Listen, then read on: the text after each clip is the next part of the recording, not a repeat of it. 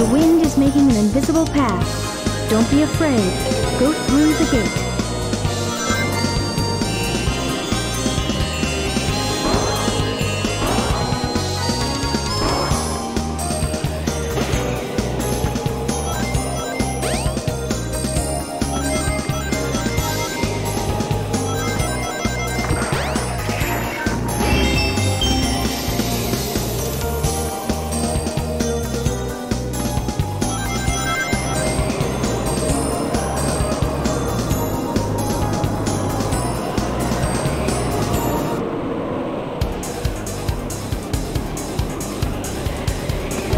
Straight up. You should be able to get out of the tornado.